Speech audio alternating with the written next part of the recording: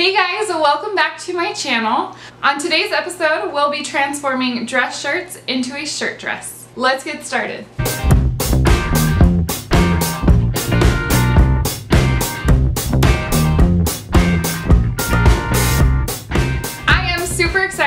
Today's refashion because this is one that you can definitely duplicate at home.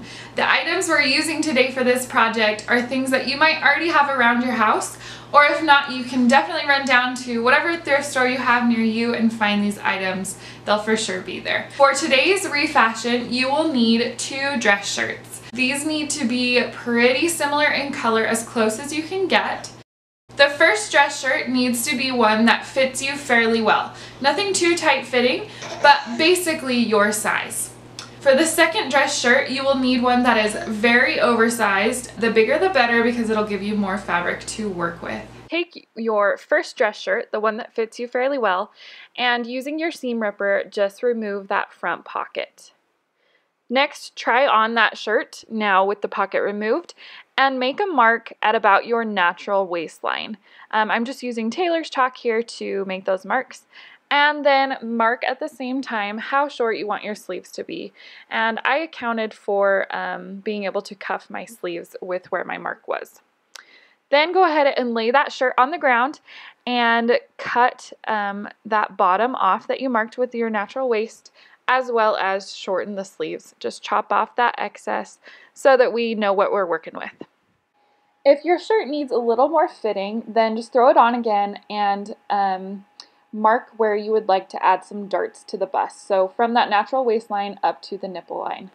Um, then take your shirt off and put it down on an iron, ironing board and just fold um, where that line should be, iron, and then use your tailor's chalk to mark how much needs to be taken in. Um, then pin those together and make sure you repeat for the other side, trying to make those match as best as possible. Next, you'll want to just cuff your sleeves. So I just did a double fold on mine, fold it up once and then again and try to get that as even as possible and matched up to the other sleeve. Then you can go ahead and sew those darts in and tack the sleeves. Okay, next thing, we are going to switch to our second dress shirt, so the one that's way too big. And first, we're going to just remove the sleeves. So just take those off completely.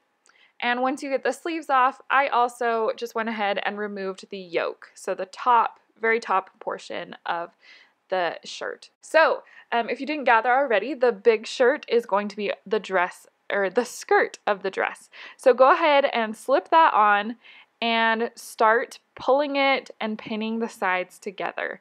So it's going to take some playing with, but you just want to um, attach the front to the back and kind of pin um, down the sides, kind of outlining the general shape you want. You can do more A-line, more straight, more fitted, whatever you prefer.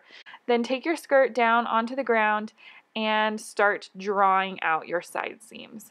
And once they get to your liking, then you can pin the sides together and then take it over to the sewing machine and sew in your side seams. Um, once you get these sewn in, you are ready to attach the top to the bottom.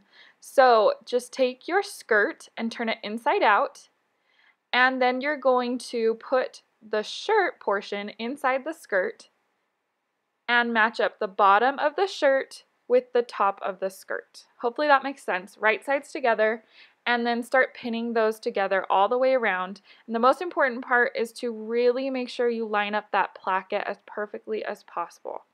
Then you're going to go ahead and sew around the whole thing um, and then you're pretty much done with that part. Next, I decided to make a belt um, so I went ahead and cut some 2 inch strips of my excess fabric, sewed a bunch of strips together, then folded over the edges and folded it in half and did a quick top stitch to finish. Then we're all done. Let's take a look at the final transformation.